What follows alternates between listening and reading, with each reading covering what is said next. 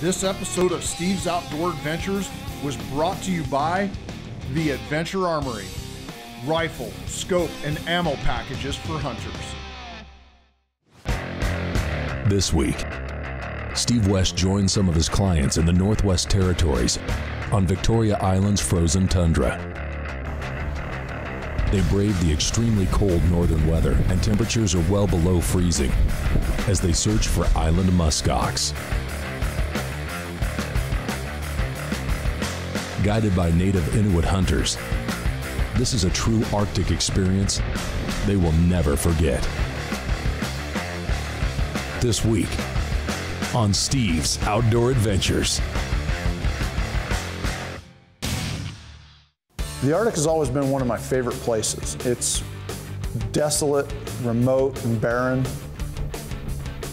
And the animals that live there are tough and spectacular. The Inuit people that live there are warm and hospitable hosts, but they're also world-renowned professional hunters and guides. This week, I'm in the Arctic with some of my longtime clients. The adventure of the hunt begins now. Steve West, in typical fashion, arrived in the community a few days prior to his clients to be sure everything was in order for the upcoming hunt. Upon arrival, he met the Inuit hunters who were to be their guides and spent the next few days learning the community and spending time with the people. After getting to Ulukhaktok, or Holman as some call it, I was greeted by the friendly staff and the community members. Now, when a TV show comes to a small community in the Arctic, everyone comes out to meet you. Now, I was taken on a full tour of the town, made an appearance on their community radio show. Around this is Steve West, host of the Steve's Outdoor Adventures television and radio series. and was even taken to their golf course. Now, I love to play golf, and I had to take the opportunity to play a few holes, even though it was 20 below zero. Yeah. Yes! Oh!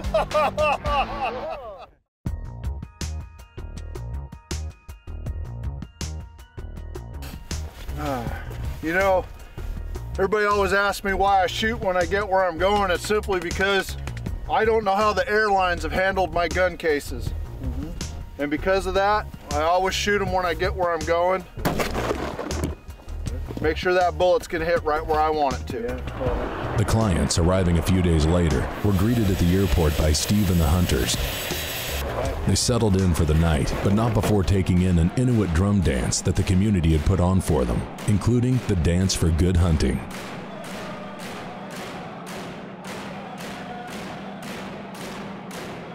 Muskox were nearly extinct at one time, but after protections and management were implemented, their numbers have bounced back with an estimated population of over 100,000 animals. Now, I've chosen the community of Ulukhaktok on Victoria Island as the destination of choice for Steve's Outdoor Adventures clients who book muskox hunts. The travel here is easy, but it does take some time.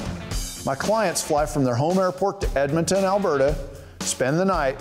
The next day they fly to Yellowknife in the Northwest Territories and spend the night again, and then finally fly from Yellowknife to Ulukhaktok where all the hunting begins. Now this was going to be a much larger hunting group than they were used to, not to mention that we had video equipment and extra staff to film the hunts. And now we're ready to head out onto the land and begin our hunt for muskox. Well, folks, when we return from commercial break, we're going to be headed out onto the ice in search of Umingmak, the muskox of the north. This segment of Steve's Outdoor Adventures has been sponsored by Pendleton Ammunition. Loading bullets, one round at a time. The next morning, the guides, their helpers, and all of the hunters assembled one of the largest hunting groups to ever sport hunt on the island, with 14 snowmobiles and komatik sleds combined. Getting all the sleds ready to go here this morning. Um, the guides are showing up with their komatiks and get everybody situated in their sleds and head out in what's going to be probably the largest procession of hunters that probably ever left the Holman community. Well, it took most of the day to get out to the cabin. You know, we, we did hunt, we did see some muskox on the way, but we decided to just get out to the cabin, get settled in, and really get after it the next morning. The next morning's weather was bright and clear. Perfect hunting conditions. The guides and hunters set out with high hopes of finding muskox. Well, first up was Dan Menor from Wisconsin. And I could tell we needed to get him into the action fast because he was excited all the time. I mean, he was constantly in a positive mood and ready for action, you know. Well, I'm an adventurous person, and about 10 years ago, I thought it'd be really nice to take a trip to the Arctic and just go on a muskox hunt. And we spotted a couple of bulls and moved to within rifle range, and that's when Don got his shot. Well, we saw these bulls coming over the hill. We laid down, we got set up, waited for them to come in.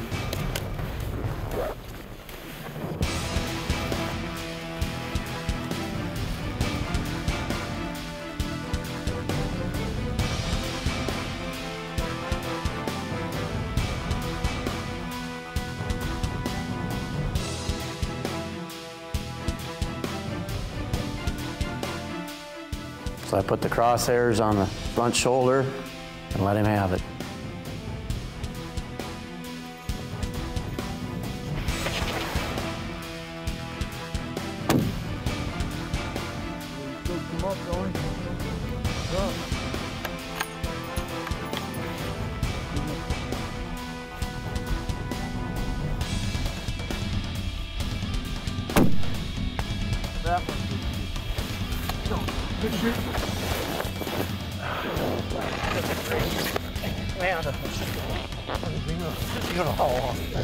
It's been like 10 years in the planet. Really? Yeah. Muskox? Yeah, thanks, man. Oh, thanks, Steve.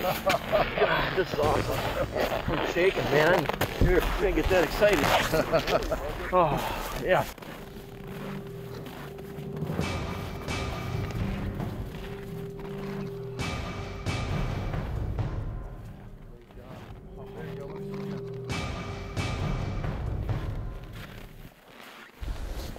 Been a long morning. We've been out here on the, the frozen tundra chasing these muskox. Just got out in front of them and uh, let them come right to us. And then once they spotted us, they started working their way up out of the bowl and Don put it on them. These incredibly tough animals. They live in some really harsh environments. But what a trophy, amazing hide. I mean, just a, an amazing animal in general. So it's always a privilege to hunt them. Congratulations. Thank job, you. Don. Great. Thanks, Steve. Wallace. Good job, Wallace. I mean, these guys work hard up here. This is some, you know, once again, incredibly harsh land that these guys, you know, live and guide in, and they're hunting an animal that's just as majestic as any in the world today. And it's amazing to think that they don't just live here, but they thrive here uh, on this frozen tundra, eating just a little bit of sparse grass and, and lichen. So, well, it's really cold out here today. We're gonna bring the snow machine up here, get him cut up and loaded. We've got to get him caped out so Don can have a beautiful trophy back at home. We've got a lot of hunting left to do here in the Northwest Territories of Canada in the frozen tundra of Victoria Island.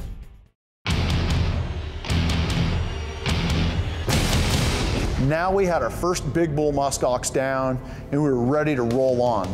So we left Don and his guides behind to take care of the animal and the rest of us headed to higher ground to glass for another herd of muskox. With Don Menor's big bull down, the guides and hunters set out again and in a short period of time find another big herd of muskox working their way toward a rocky ridge where Steve West and hunter Matt Hayes are setting up to ambush them. Uh, this was a good news, bad news situation. The good news was that we had found a big herd of muskox and most of them were good bulls. The bad news was that they were way out in the open. So we had to employ a two hunter strategy. Matt Hayes came with me and we worked our way down a rocky ridge staying out of sight. Well, Sean Van Gerpen and his guide worked their way around to the other side. The theory was that if one of us bumped the muskox, they would run right to the other. It worked perfectly for Matt, and what happened next was something that neither one of us will ever forget.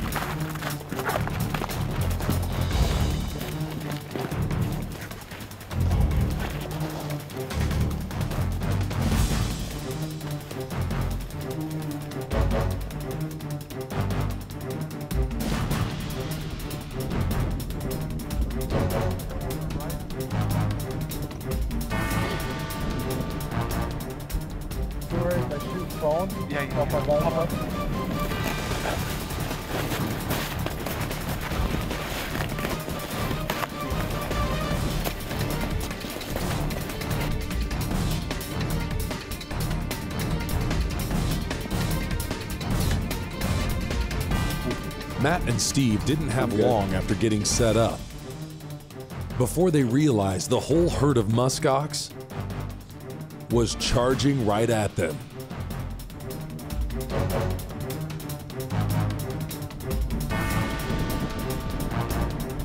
Yep, good.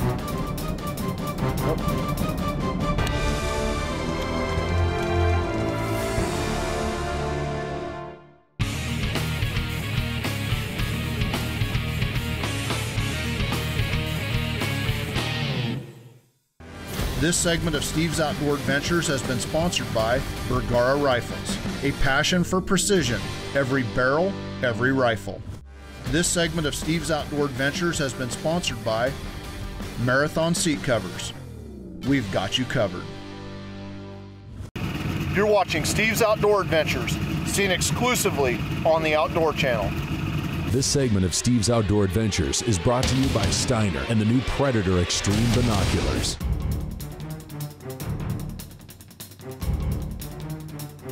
Before going to commercial break, Matt Hayes and Steve West were set up with a herd of muskox, barreling down on them.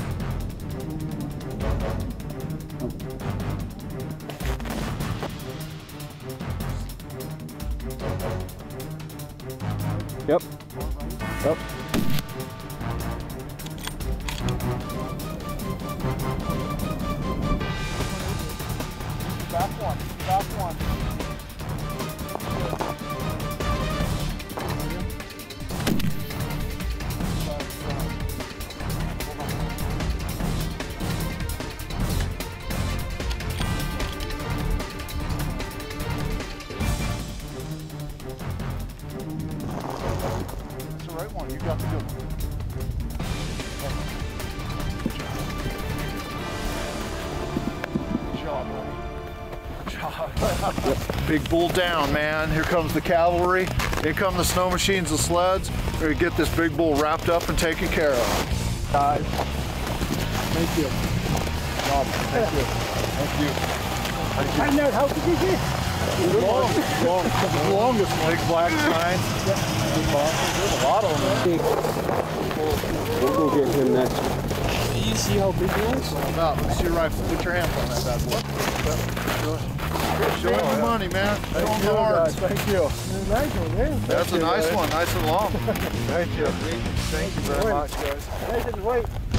Well, we spotted a herd of muskox over here in this valley. The guides were fairly confident that with different groups hunting them from different directions that somebody was going to get a shot at them. We came over here and got set up on this part of the valley.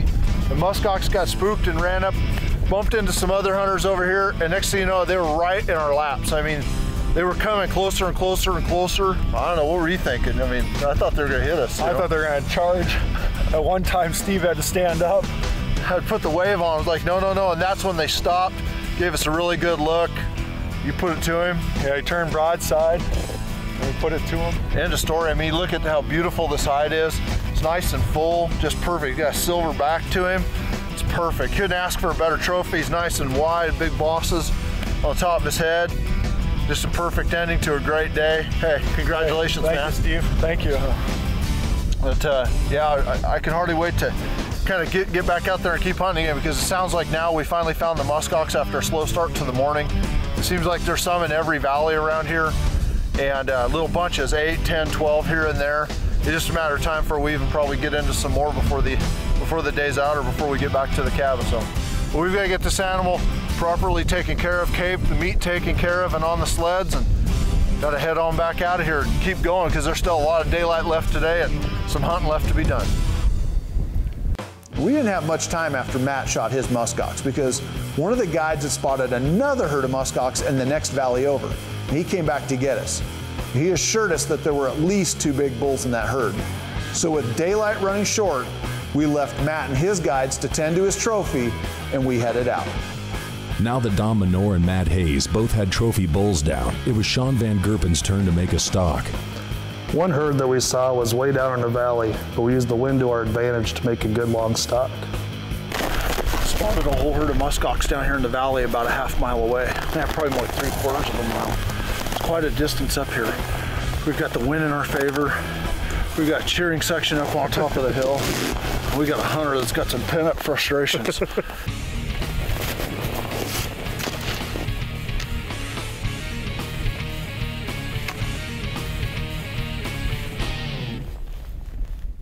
This segment of Steve's Outdoor Adventures has been sponsored by Burris Optics. Find what matters. This segment is sponsored by Adventure Armory. Rifle, scope, and ammunition packages shipped, ready to shoot. If you'd like to book your own guided big game hunting adventure, give my office a call. I will personally take your calls, answer your questions, and help you book the hunting or fishing trip of a lifetime. Before going to commercial break, Steve and client Sean Van Gerpen were closing the distance on a herd of muskox.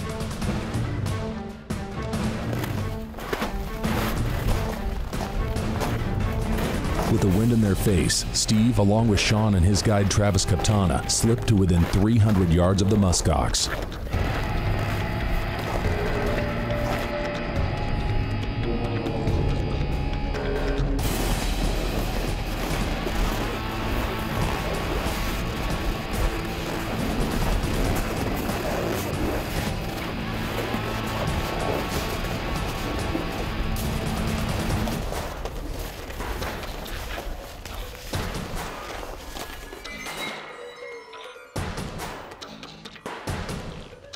Steve, Travis, and I were able to sit there and look over the herd. We were able to decide on the one that was second from the right.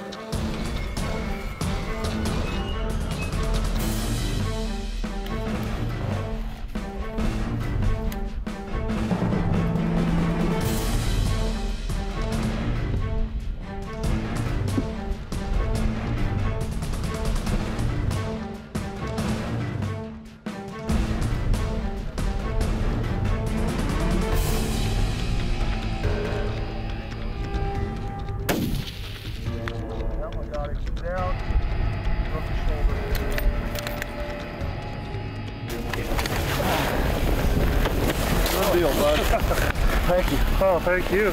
Congratulations. On right on, fine. Thanks, man. Right on. Oh. Hey, the rest of them are hanging around up there. Everything had been perfect, and Sean had concentrated and made the shot count. And we had another awesome bull down.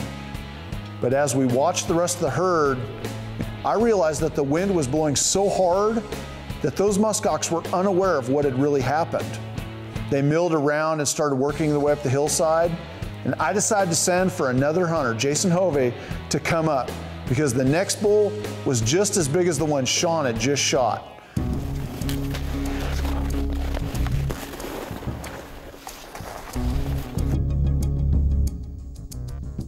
After waiting for the muskox to go over the ridge and out of sight, Steve, Jason, and guide Ross move quickly to intercept the herd and sneak into position for a shot.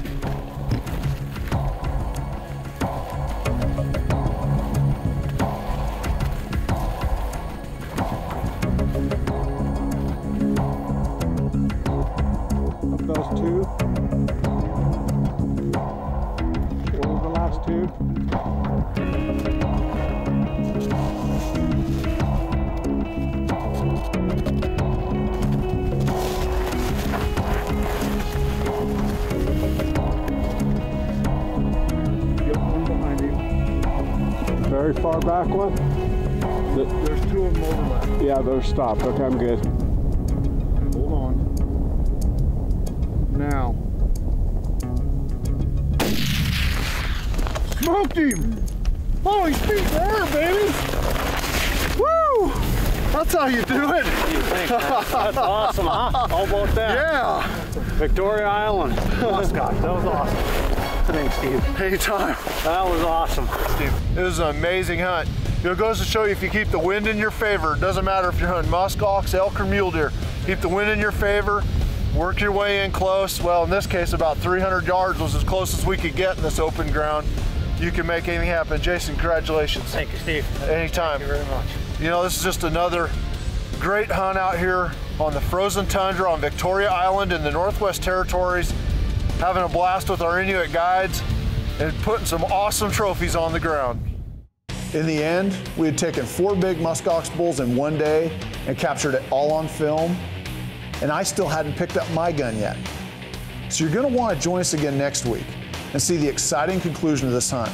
And remember that if you'd like to book this muskox hunt for yourself or any other big game hunt, please email or give me a call. I'll personally schedule your hunt and help you take care of all the details. Unfortunately, that's all the time we have for this week's show. But please remember to join us again next week for another exciting episode of Steve's Outdoor Adventures. Join us next week as the weather turns ugly, the temperatures drop, and a spring storm threatens to end Steve's hunt on Victoria Island in the Northwest Territories.